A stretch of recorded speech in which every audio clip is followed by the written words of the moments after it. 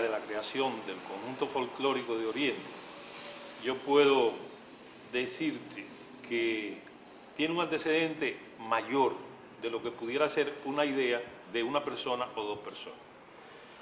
Las personas que participamos en la idea, es decir, Renaldo Infante, Rebeca Chávez, Raúl Pomares y Miguel Botalín,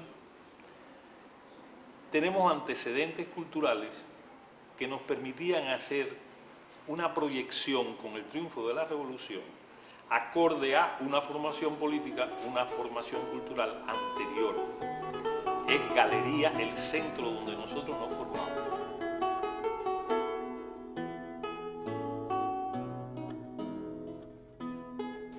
Hacemos una convocatoria en la prensa que sale varios días en el diario de Cuba y convocamos a los jóvenes santiagueros a presentarse para hacer un conjunto de bailes y danzas folclóricas. Y es en el Salón de la Ciudad del Ayuntamiento de Santiago de Cuba donde la convocatoria se realiza.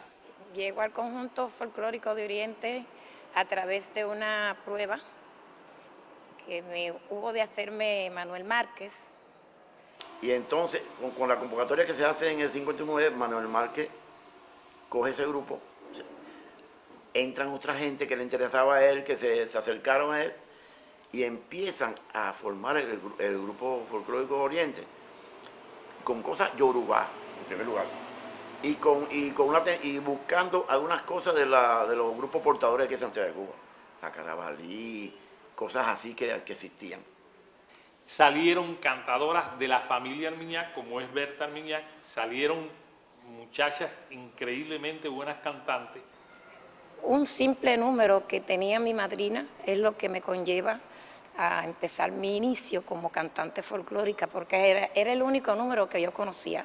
En ese grupo sobresalieron los Armiñac, Mozo, Pachanga, Juan Bautista Castillo.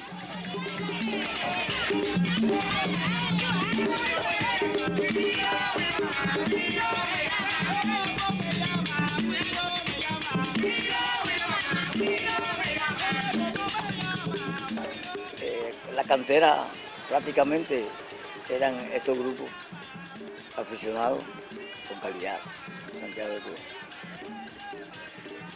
donde yo pertenecía a la Buriocan, Santa Úrsula y secta eh, que dirigía el compañero Miguel Palacio Duani, que posteriormente ingresó en el conjunto folclórico de Oriente. Es decir, que sale un grupo de gente joven que vienen a ser, en el caso concreto de Galí, descolló después como un investigador y un corrector de equívocos que habían surgido en la experiencia y en lo que siempre ocurre. Las cosas se van enriqueciendo a veces para beneficio y otras veces no para tanto beneficio.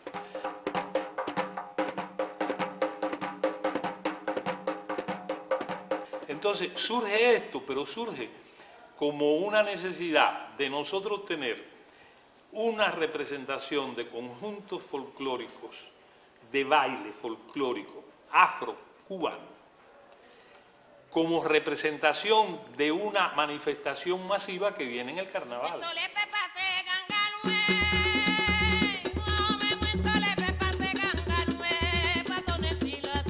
Santiago es diferente total en todo tipo de manifestaciones culturales, el modo de vida de nosotros es diferente a todo el mundo, ¿no? Y es basado a eso, que Santiago Lodel es como una cosa que es natural, que viene de, de arriba, así.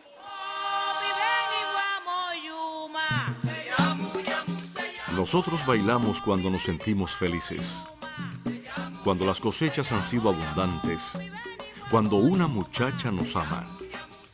Bailamos cuando la desdicha nos abate. Bailamos lo mismo que comemos o dormimos.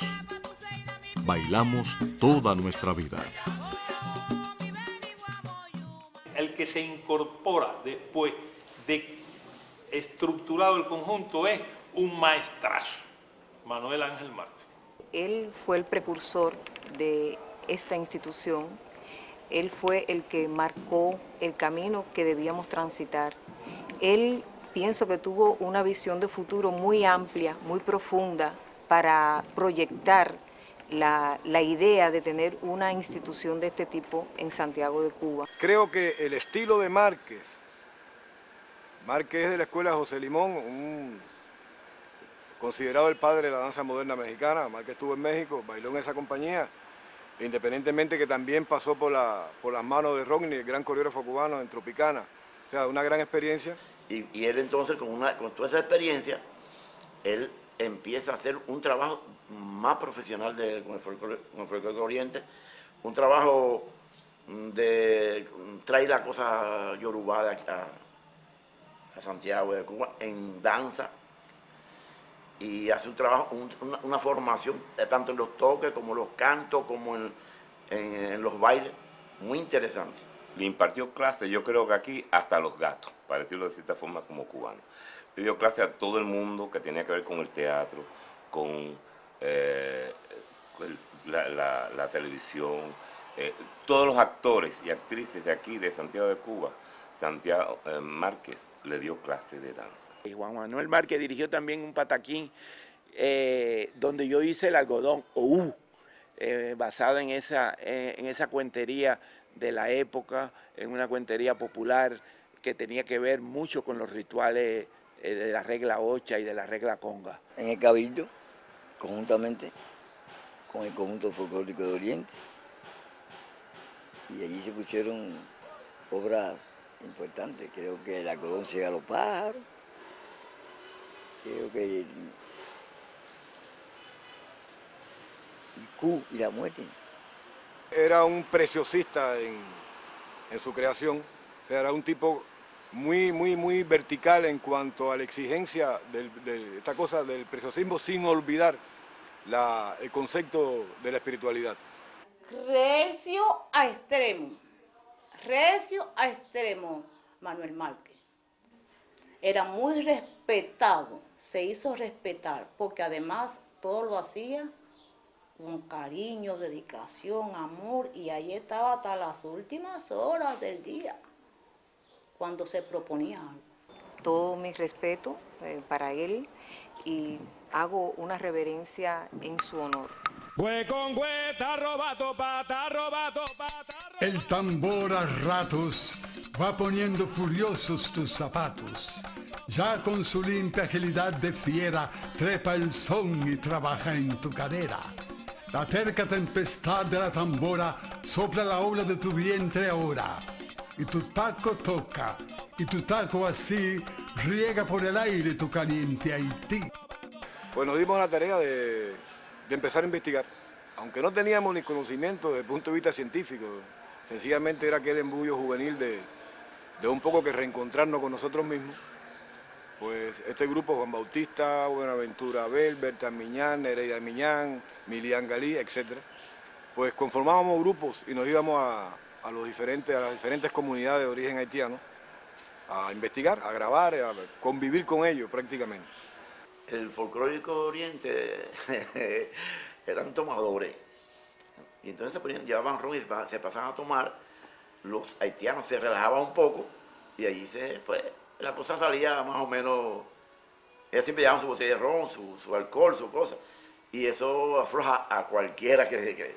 Y entonces se iba allí. Le hacíamos sus regalitos, llevábamos ron, llevábamos tabaco, llevábamos cigarros, casita de campaña, algunos dormían dentro del camión, las mujeres sobre todo. Y nosotros nos sentábamos en un paraje allí cerquita de la casa. Esperábamos entonces que aquello, participábamos, porque las mujeres entonces, ¿qué hacíamos? Nos metíamos en la cocina, mientras ellos se ponían a tocar por allá.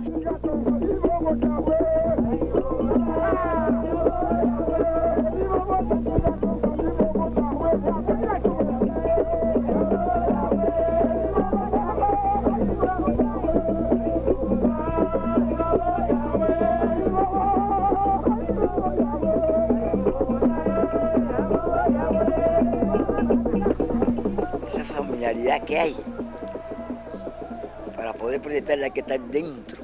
Además, él tiene familia haitiana y cosas así, y él traía cosas de su familia.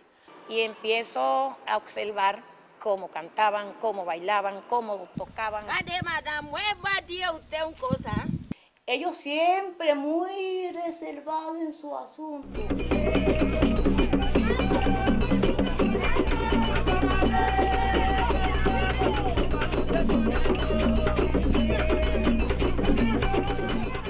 Que, nos dimos cuenta de la riqueza que teníamos en esta zona oriental del país, las características y todas las posibilidades de pro- producto de las inmigraciones caribeñas, etc. Nos entusiasmó la idea y eh, nos presentamos en La Habana en el mes de, un mes de diciembre, fin de año, con un espectáculo y el éxito fue total.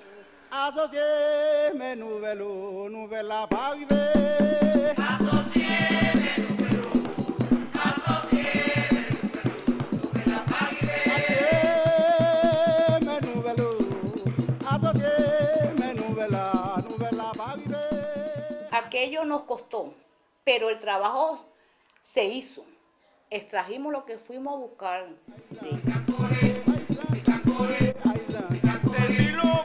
Papumue, Cecilo Bahía, papumue, Alequile,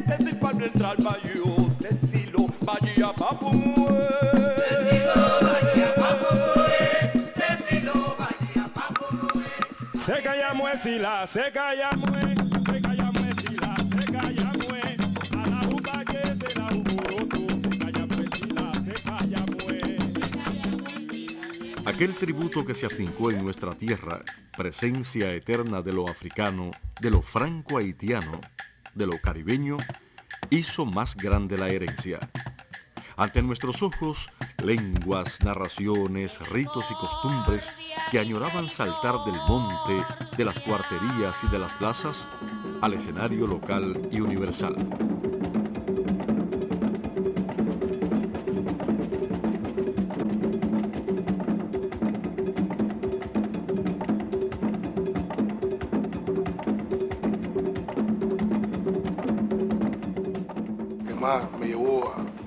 Más alto de, esta de la danza es Silly. Y entonces se anunció que Lefebvre venía, quería venir, a Santiago, su pueblo natal, porque él es santiaguero, a hacer un trabajo con su gente.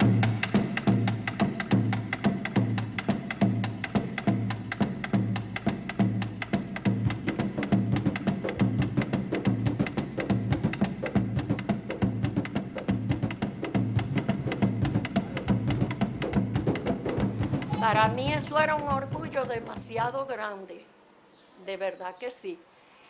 Porque yo siempre pensaba, si Lefebvre me rechaza, creo que no voy a diseñar más nunca. Pues miren que fue un comienzo enorme, grandioso. He tenido eh, la característica de llevar a Santiago más allá de Cuba, llevarle mis diseños.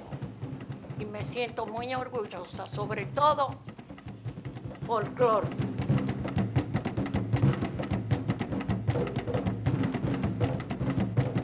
Llega a Santiago Jorge Lefebvre para realizar un ballet que se llamó Ercilí. Necesitaba una escenografía o un escenógrafo. Buscó alguien que tuviera talento y pudiera hacer lo que él llamaba el decorado, que consi- consistía en unos paneles gigantes. Él se dio la tarea de buscar entre los pintores actuales de ese momento quién podía realizar esa escenografía y vio mi pintura, le gustó y me escogió. Así fue que yo llegué a Jorge Lefebvre como pintor escenógrafo y con el conjunto folclórico de Oriente.